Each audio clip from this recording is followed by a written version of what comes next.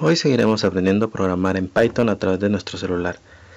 Yo tengo esta aplicación que es Python 3 para Android en donde puedo correr un script o un pequeño programa que yo haga en Python. Entonces, seguimos con la opción print. Print ya sabemos que es para imprimir algo en pantalla. Entonces, inscribimos print hola en la primera línea. En la siguiente línea, recuerden que no hay que poner punto y coma en Python sino que la siguiente línea le entenderá que se tiene que hacer el salto, escribirá cuál es su nombre completo. Me faltará ahí el signo de interrogación, pero ahí estará. Entonces, normalmente hemos venido haciendo que pregunta cuál es tu nombre. Entonces tú pones Margarita, Georgina, Pablo, Margarita, qué sé yo. Pero ahora les estamos pidiendo el nombre completo. Entonces, luego en la siguiente línea, en la línea 4, colocamos una variable. La variable se llamará name en inglés, o name, si lo quieres pronunciar tal cual se lee, lo vamos a pronunciar, lo vamos a decir name, no porque no sepamos, sino porque suena divertido. Name será igual a input. Input este, recibe del usuario o de la persona que utiliza el programa, le permitirá escribir. Pero como yo le voy a pedir su nombre completo, en El Salvador, en la mayoría de países de América Latina, se utilizan cuatro cuatro nombres, es decir, dos nombres, dos apellidos. Y eso forma tu nombre completo. En los países anglosajones utilizan tres. La mayoría de gente solo utiliza su nombre de pila y su apellido paterno. Y está ahí. Pero cuando yo pregunto cuál es su nombre completo aquí en El Salvador, seguramente me darás cuatro nombres. Antes había gente que tenía incluso tres. Pero entonces vamos a suponer que la mayoría tiene cuatro nombres, creo yo. Entonces dice name input y la persona va a escribir su nombre completo. Pero aquí vamos a hacer un truquito. La clase anterior vimos los array o listas, que bueno, aquí no existen en, Python, aquí se le llaman listas. Entonces, a name, vamos a poner, va a ser igual a name, pero le vamos a pasar un argumento, una función, se llama split. ¿Y qué hace esta función split? Bueno, lo que va a hacer es convertir lo que el usuario ingresado con input lo va a convertir en una lista automáticamente. Una lista, si lo recuerdan, es una serie de datos que está ubicado en la posición 0, 1, 2, 3, así depende de cuántos datos tengamos. Pero empieza con la posición 0. Entonces lo que va a hacer es que si yo escribo eh, Carlos Humberto Celaya Martínez, entonces Carlos va a quedar en la posición 0, Humberto en la posición 1, Celaya en la 2 y Martínez en la posición 3. Entonces voy a poder sacar datos de esa lista. Y la voy a ordenar. ¿Cómo así? Bueno, voy a hacer esto. Print. Vamos a escribir el mensajito. Un placer.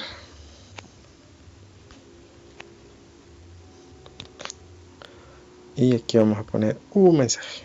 Ya, ya van a ver.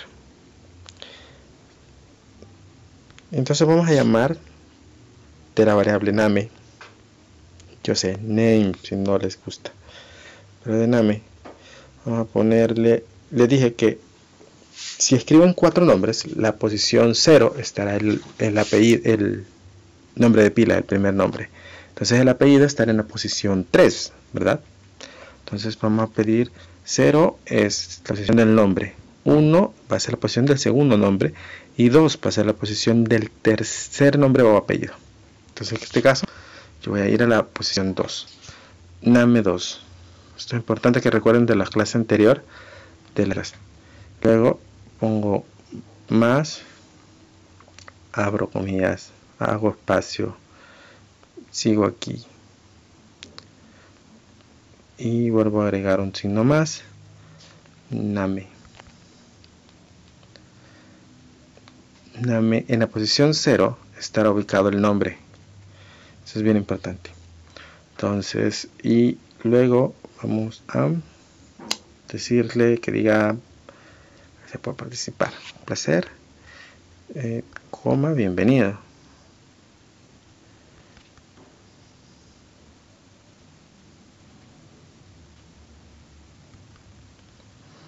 Bienvenido. Voy a parar el video porque solo tengo 5 minutos de grabación de pantalla, pero seguimos en el próximo. Entonces les decía que tenemos print, un placer, name 2, que es la posición donde va a estar el apellido, más name 0, donde va a estar la posición del em, primer nombre, eh, bienvenido. Veamos si esto funciona. Dice, hola, ¿cuál es tu nombre completo? Lo estoy ejecutando. Le di room. Entonces, mi nombre completo es Gerardo Antonio Poca Sangre Díaz. Y le doy enter. Un placer, Poca Sangre Gerardo. Bienvenido. Entonces ordenó primero el apellido y después el nombre. Si se fijan, es, muy útil porque, porque hay ya una interacción, ya es muy diferente eso al contar el nombre, ¿no? Y te lo ordena de esa manera, mucho más sencillo. Para que todavía se comprenda un poquito más qué pasa aquí con el, con el array, vamos a imprimirlo. Print. Eh, vamos a imprimir name.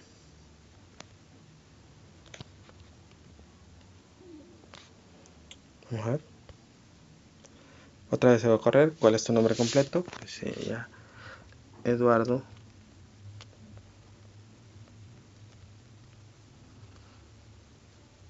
Eduardo Carlos, como nombre de novela.